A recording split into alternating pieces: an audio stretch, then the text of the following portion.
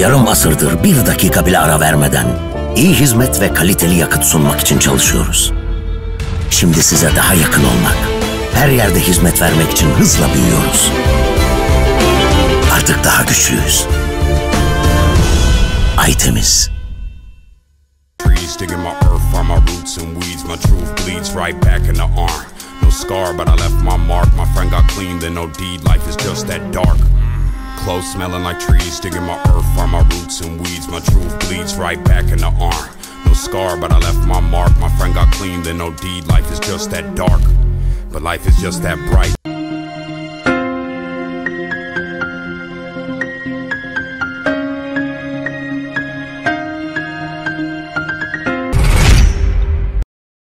Tam Adana TV ana haber bültenine hoş geldiniz. Ben Arda Özün aldım.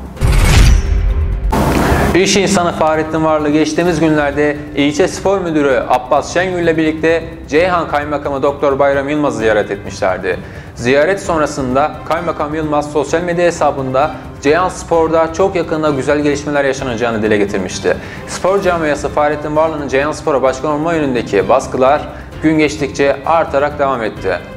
Ceyhan Spor'un başkanlığına adım adım yaklaşan Varlı ve Şengül, Ceyhan Belediye Başkanı Hülya Erdem ve İlçe Emniyet Müdürü Vekili Fatih Alptekin'i makamında ziyaret etti. Ceyhan Spor'un yeni başkanı Fahrettin Varlı sesleri yükseldi. Cumhurbaşkanı Recep Tayyip Erdoğan kentleşmede yatay mimarinin önemine işaret etmişti. Ancak AK Parti'nin Çukurova Büyükşehir Belediyesi meclis üyeleri bu görüşün tam tersi bir davranış sergiledi. Kozan depremi kentleşmede yatay mimarinin önemini bir kez daha hatırlattı. Zaman Soner Çetin'i haklı çıkardı. Can güvenliği başta olmak üzere insanların yaşadığı korku, panik ve travmanın önüne geçmek isteniliyorsa yatay mimari kaçınılmaz diye konuştu Soner Çetin. Cumhuriyet Halk Partisi Adana Milletvekili Ayhan Barut, ilk, orta ve yüksek öğretim öğrencilerinin ulaşımdan barınmaya, beslenmeden yurtlara kadar her alanda yaşadığı sorunlara etkin çözüm bulunması gerektiğini söyledi. Geleceğimiz olan öğrencilerimizin beslenme, barınma ve ulaşım sorunu acilen çözülmelidir. İlk etapta yüksek kira ve yurt ücretleriyle ilgili acil adım atılmalı, artık yurt ve barınma sorununu ülke gündeminden çıkarmalıyız. Bunun yolu da mecliste öğrencilerimiz için yeterli sayıda ücretsiz devlet yurtlarının açılması için adım atılmasından geçiyor dedi.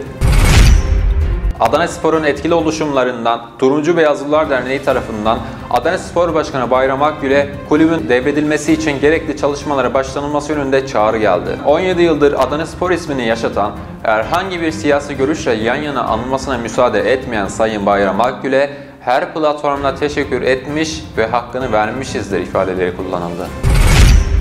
Adana'nın Kozan ilçesinde meydana gelen 5,5 büyüklüğündeki depremin ardından Bucak Cennet Vadisi'nde 5 köyün içme ve sulama suyu olarak kullanılan Pınar kurudu.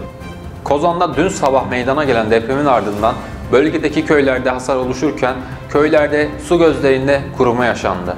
İlçeye bağlı Çoban Pınarı, Ilıca, Bucak, Acarmantaş, Ferhatlı mahallelerinin içme suyu ve bahçe sulama kaynağı olan ve Ceyhan Irmağı'nın bir gözü olan Bucak Cennet Vadisi Pınar Gözü'nde depremin ardından su kaynağı kurudu.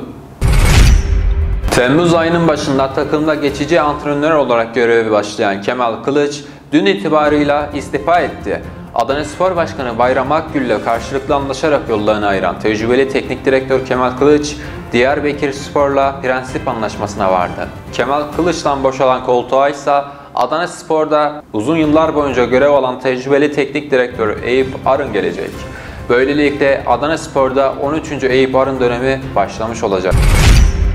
15 Mart 2023 tarihli Ulaşım Koordinasyon Merkezi kararıyla belirlenen güncel taksimetre ücret tarifesi açılış ücreti 14 lira, 1 kilometre için 13 lira, 1 saat için 45 lira olarak belirlenmişti. Adanalı taksici esnafı mevcut zammın en az %100 oranında olmasını talep ediyor. Mevcut fiyat tarifesini pahalı bulan vatandaşlar düzenlenmesi beklenen yeni zamlı ücretler karşısında taksiyi daha az tercih etmek zorunda kalacak gibi görünüyor. Ceyhan Ticaret Odası Yönetimi Ceyhan İlçe Emniyet Müdürü Vekili Emniyet Amiri Fatih Alptekin'i makamına ziyaret etti.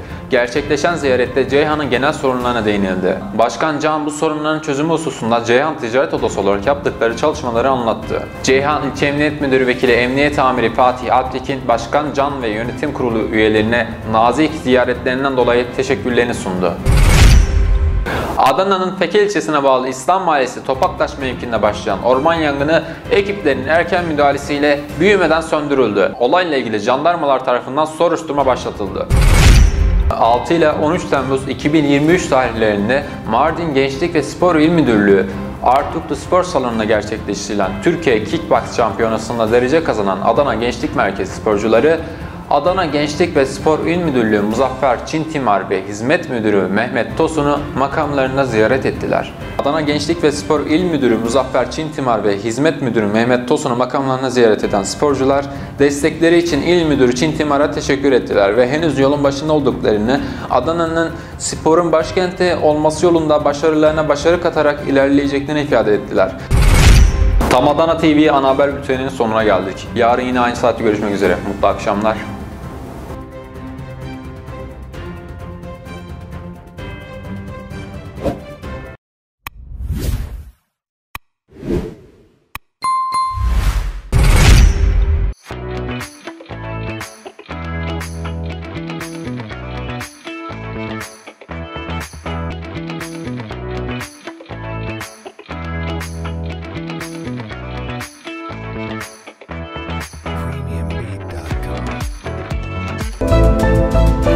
Yarım asırdır bir dakika bile ara vermeden iyi hizmet ve kaliteli yakıt sunmak için çalışıyoruz. Şimdi size daha yakın olmak, her yerde hizmet vermek için hızla büyüyoruz. Artık daha güçlüyüz. Ay temiz.